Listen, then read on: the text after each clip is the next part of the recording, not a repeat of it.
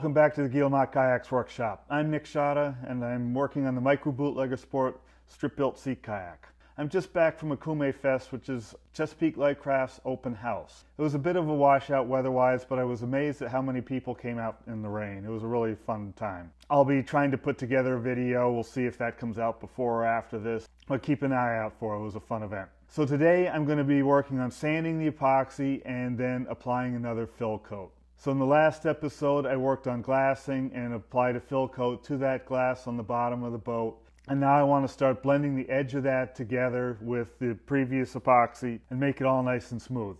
So I'll be going over the whole surface with 60 grit sandpaper, just knocking down the high spots. I'm not going to try and make it perfectly smooth at this point. I'm going to work on getting the high spots down and so start blending things in and the next fill coat will fill in some of the low spots and then after that I will do a really heavy sanding and do the final finish sanding, hopefully. If I can get it all done with one more fill coat, we should be in good shape. So it's just going to be some sanding and a fairly quick sanding, again with fairly coarse 60 grit sandpaper. And any remaining shiny spots I'll take care of with a Scotch-Brite to just degloss it. So let's get to it.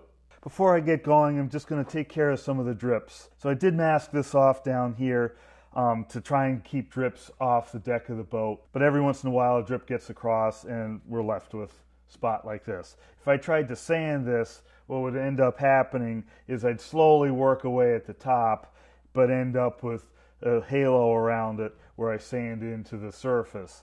Just sandpaper on a fairly soft pad, that's what ends up happening. So what I find to work best is some sort of a rasp. Here's a Shinto wood rasp.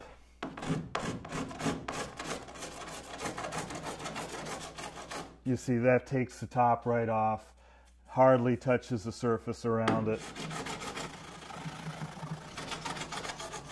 does a good job really quickly.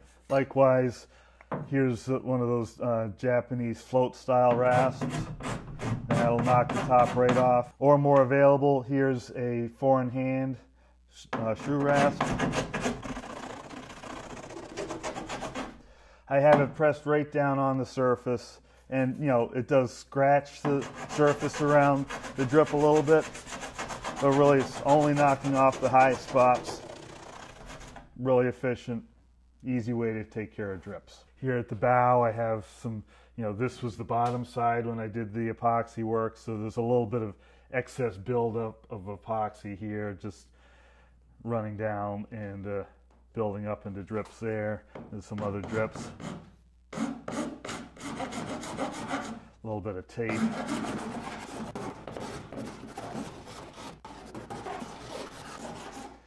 Just start to blend that all in. Like I said, I'm going to start out with 60 grit. I'm going to do start out with the long board.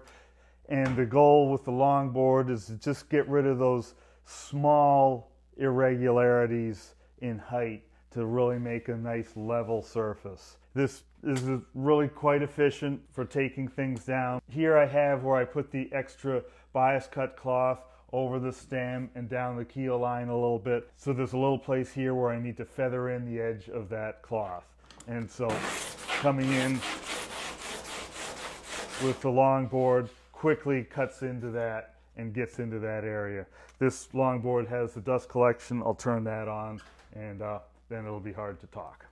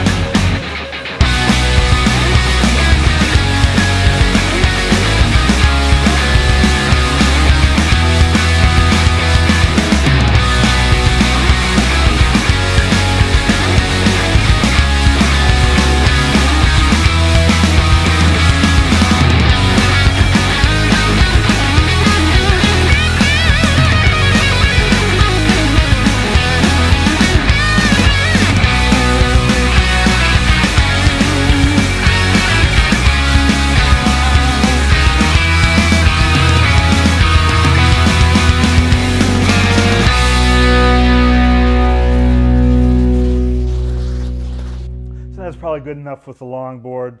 I have a fairly uniform scratch pattern over everything, but there's a couple spots down here. You see these regular spots right there? They go down the side. Those are slightly lower, so as I sand with the longboard, the sandpaper isn't hitting all the way down into the bottom of those spots. You know, I can't feel anything if I run my hands over that. What we're looking at is where the forms were when I was stripping up the boat. And when I was doing the first sanding, the support of those forms every 10 inches here made it so I was a little bit more aggressive on those spots. Just the fact that the strips are supported by the forms right there means when I apply a little bit of pressure to the sander, it's a little bit more aggressive at that spot when it's just the bare wood. At this point, the forms are out of it. So everything flexes evenly now. So as I'm doing this final sanding and final fill coats, those very slightly low spots from that initial sanding will eventually get leveled out and be completely uniform with everything else. Again, this isn't something you can detect while you're doing your initial sanding. You won't see it, you won't feel it.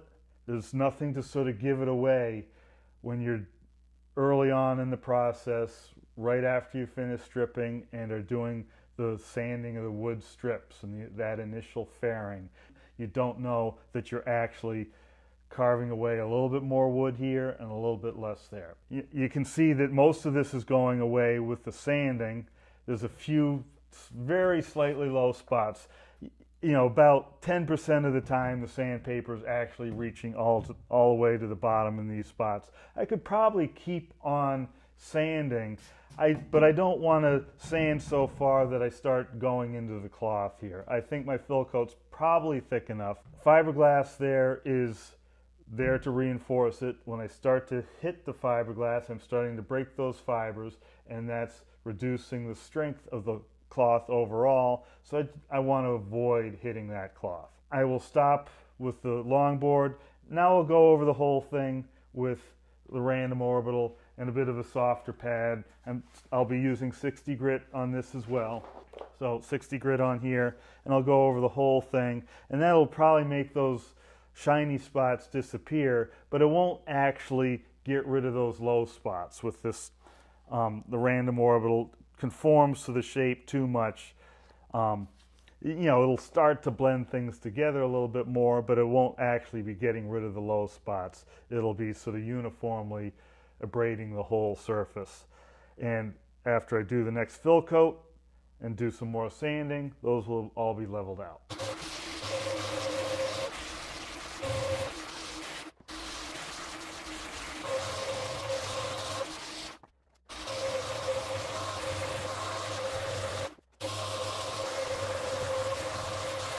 Thought I'd talk a little bit about what's going on right here. I have a piece of bias tape that's come up from the stem, wrapping around, and ends right here. And there's a lot going on at this spot. If you look at it, you can see where the edge of the bias cut cloth ends right here. A slight change in tone. In order to get this to blend in, I've had to sand deeply into that cloth. But right here along the keel line, I haven't sanded at all. I want to keep as much fabric between the rocks and the boat as possible right here along the keel line. But then I want to blend that tape in as it wraps around towards the side. So you can see the texture of the cloth starting to peer through here, just hitting the tops of the weaves and then as you go farther and farther, eventually you get to the point where we're sanding through the bottom of the weave. So we're sanding completely through the cloth down to this point. Right along here, you can see there's a couple spots right in there and there where I haven't sanded to the surface of the epoxy yet. There's actually some little pinholes in there. Back in here, there's a shiny spot. Then we get to the smooth surface of the next layer of cloth down under this heel strip. Right in here, I'm just sanding into the epoxy. As we get down here, I'm just starting to hit the tops of the weave of that layer of cloth. I really don't want to sand any farther there. Here I don't mind sanding into the cloth because in order to make a smooth blend here, I'm going to have to. I don't want to sand into the cloth up here because that's where I want the most protection, right along that keel line. But then as I go down, I don't want to sand into this layer of cloth. I do have two layers on the bottom of the boat here. So if I tag that a little bit, it's okay. You know, it's not going to be the end of the world, but that's just a sign as you start to see that weave showing up there ever so slightly up in here, right along in here, you can see I'm tagging the top surface of that cloth. So that's where I want to stop. So I don't go farther than that. And that's the same throughout the rest of the boat. If you start seeing the cloth like that, stop sanding. If there's shiny spots right next to it, you're going to have to do a fill coat of some sort to fill those shiny spots up. Over in here, there's slightly shiny spots. Another fill coat will fill those up and put a protective layer of epoxy over the cloth so when you sand, you can level it perfectly. You know, it's not the end of the world if you tag the top surface of the cloth. It does start to weaken it. As long as you're not doing that to the whole surface of the boat, you're okay. If you tag it here and there, it's all right. But in a perfect world, we try to avoid hitting that cloth. Back down here where the end of the tape ends, it's going to be tricky for me to blend this in. I'm going to have to sand it back farther this way to get this little step down to disappear completely. And I'll do that with some hand sanding. But you can see I'm starting to get into the edge of the cloth there and blend that back. I could have cut this bias cut piece at a little bit of a diagonal back here, which would make it a little bit easier to blend in. I just don't didn't do that. I usually do, but didn't this time. This just gives you something to look at to sort of see what it looks like when you're sanding into the cloth. Here we're just tagging it. Here we're sanding deeply into it. Here we've sanded almost all the way through. We're still getting a little bit of the fabric, a little bit of the yarns, but we're almost all the way through there. So now that I've gone over everything with the long board to level it and the uh, random orbital to sort of tune that up a little bit, I'll go over it one more time to degloss, get rid of all the shiny spots. I'll start with 80 grit on a sanding block, and then if there's any left after that, I'll uh, hit it with a Scotch-Brite.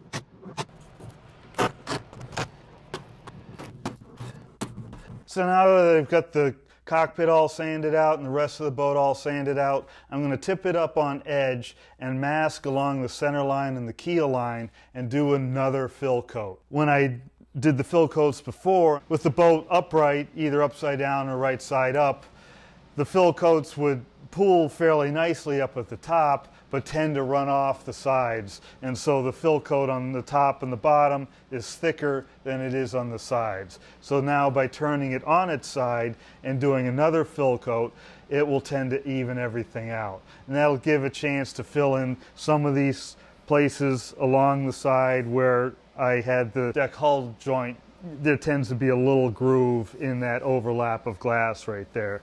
By putting it on its side, that should fill up and give me the opportunity to really get it leveled out nicely. So I'm just gonna tip it up this way. And I'm gonna put a uh, clamp behind it just to have something for it to lean against so the boat doesn't tip over.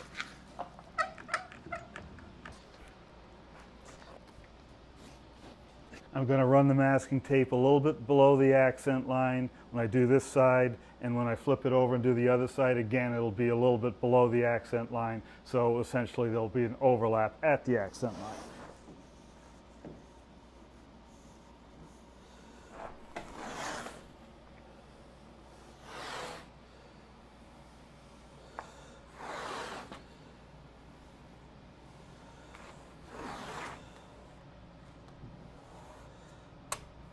And again, I'm going to fold up the edge here to create a drip edge so it doesn't run, any drips don't run straight across the boat.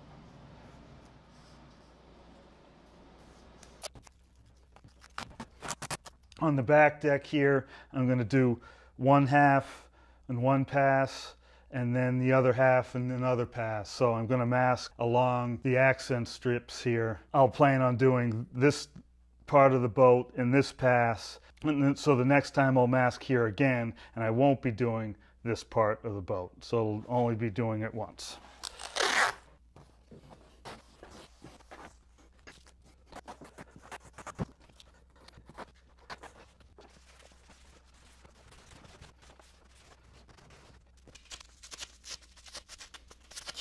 There's some tiny little pinholes in some spots on here. I don't know if there was a bubble or something causing just the, the epoxy to have a divot in it um, that it's really hard to fill those uh, pinholes in by just brushing on more epoxy. So I'm going to give the whole thing a very thin squeegee coat of epoxy and then come back and brush on the thicker coat of epoxy. So first will be the squeegee coat and then will be the brush coat.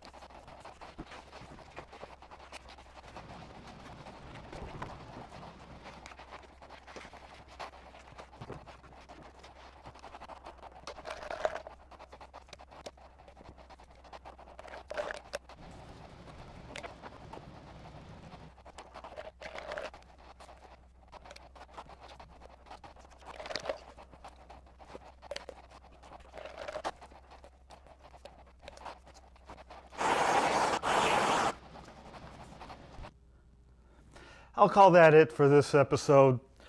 I still have the other side to do, but I, I guess I'll start with the next episode with that. Um, I need to let this set up a little bit and then I can peel the tape off. It's still draining a little bit, but it, it looks like it's leveling out nicely.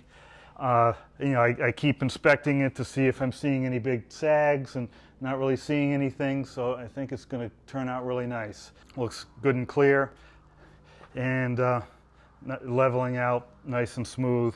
So after this, I'm going to let the epoxy cure for a while before I do my real final sanding. So I'm going to take this out of the shop and do some of the things I have left to do in the shop. I need to work on the backrest, finish off the seat. Um, and I need to make a display stand for this. I'm trying to figure out exactly how I'm going to go about doing that. I have an idea in mind, but I haven't really worked out the details. Some sort of vertical display stand, that's how the customer wants it. He has a stairwell he'd like to have the boat uh, stored in when he's not using it. It's going to take a little bit of thought and figure out how that's going to happen. So I'm not exactly sure what the next episode is going to be, but if you enjoyed this one, give me a thumbs up. If you're curious to see what's going to come up next, hit subscribe, turn on notifications. If you're enjoying this series and think you have some friends that might enjoy it too, please share my channel to them. Let them know what's going on. So, until the next episode, thanks for watching and happy paddling.